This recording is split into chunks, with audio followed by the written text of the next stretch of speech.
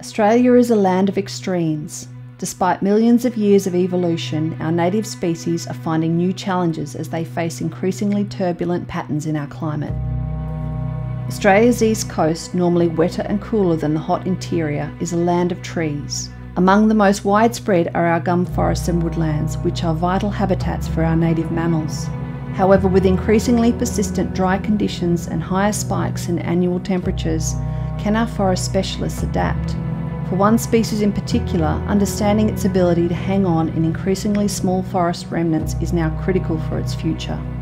Flying from tree to tree, this poorly known creature is Australia's largest flying marsupial. This is the story of the greater glider.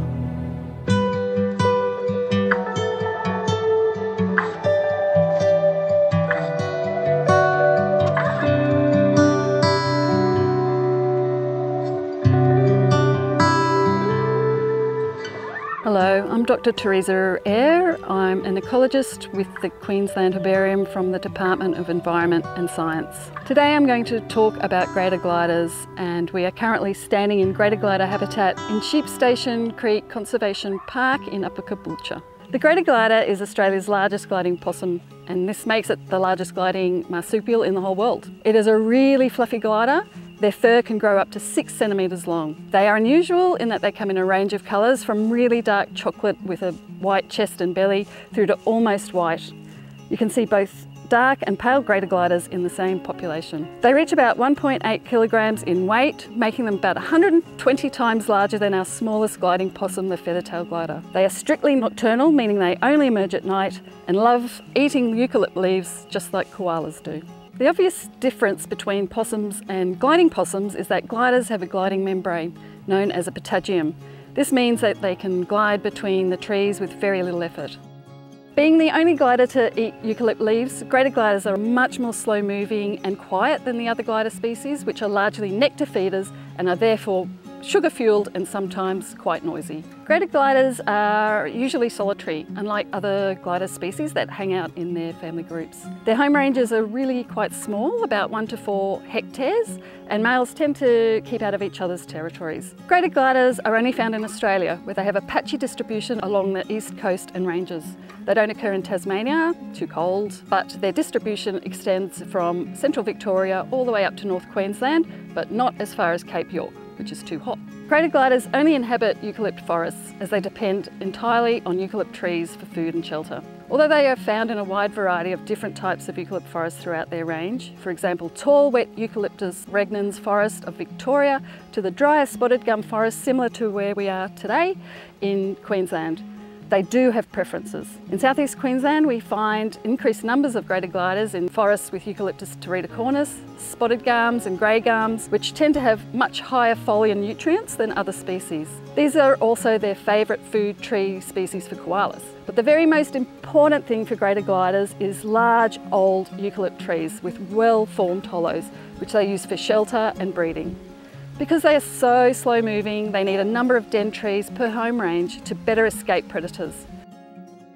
The greater glider is a threatened species. It was listed as vulnerable under the Australian Environment Protection and Biodiversity Act in 2016 and under Queensland's Nature Conservation Act a year later in 2017. Greater glider populations are declining because of the severe modification to their habitat throughout their range. The big three threats, which tend to interact and cause cumulative impacts for greater gliders, include direct habitat loss and fragmentation through clearing and clearfell logging, intense and frequent fires, and rising temperatures due to climate change.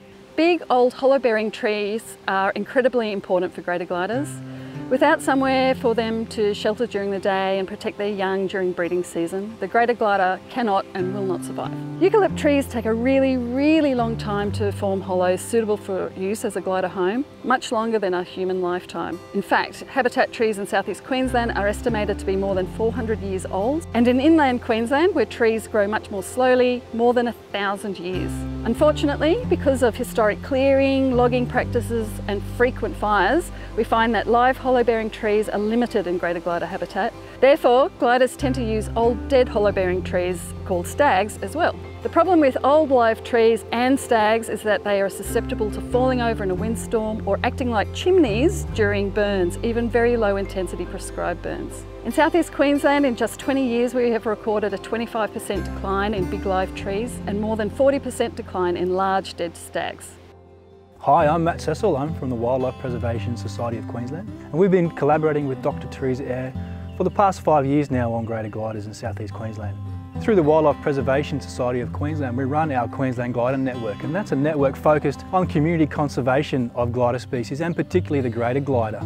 The community has a huge role to play in the conservation of our threatened species and gliders are certainly a big part of that. Through reporting observations in people's backyards or in localised bushland, from installing nest boxes through to simply following up and learning about gliders, the community has a, a big part to play. A lot of our work at Wildlife Queensland involves getting community people out into the bushland to have a look at gliders. And greater gliders are a great way to encourage people to learn about glider conservation. They're big, they're beautiful, they're easy to spot, and they really spark an interest in most people that get to see them. Once people have an interest, then we can talk to them about the conservation of our native species. Conserving greater gliders is a top-down approach. They're a big animal that requires lots of habitat. If we conserve greater gliders, it means we're conserving a whole range of wildlife all the way down to the forest floor. So it's an important species to work with from our perspective.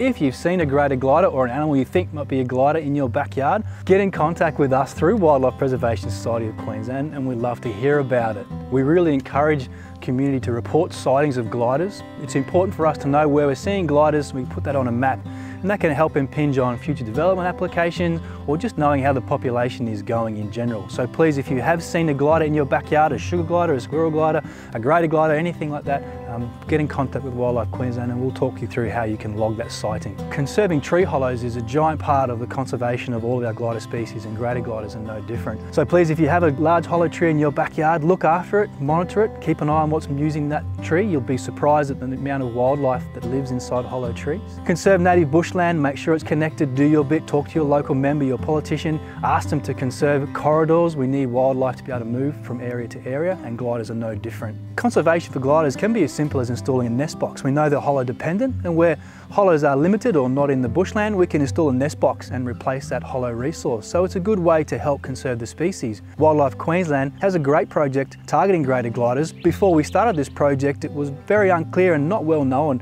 whether or not greater gliders used nest boxes. We've been able to show that they will in fact use a nest box, which is really useful for their future conservation. I'm Weston Steinricken.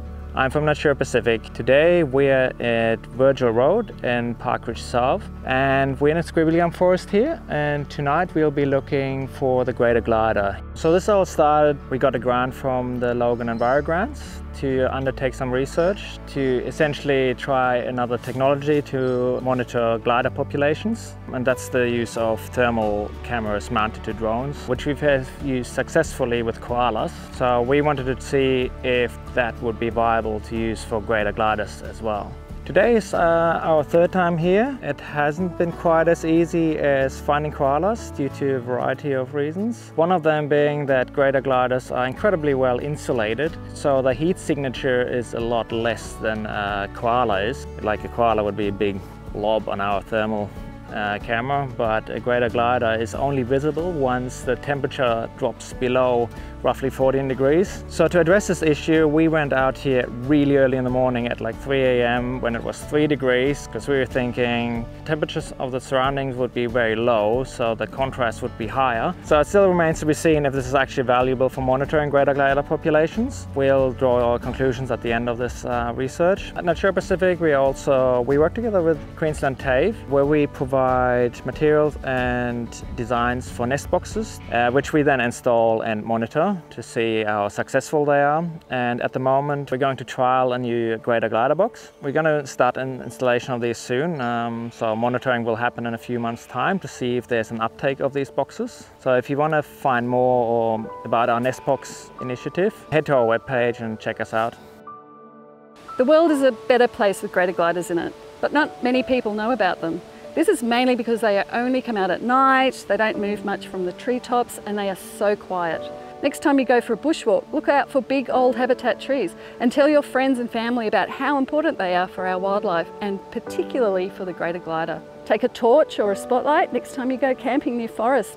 If you do find one, be sure to let us know about it. We need to continue to learn about greater gliders and the characteristics of their habitat. But we can only do this together where councils, state and federal governments work together with community groups and researchers. We need to have a common goal to not only share information, but to make sure protective conservation measures like preserving, hollow bearing trees and putting up nest boxes are put into action.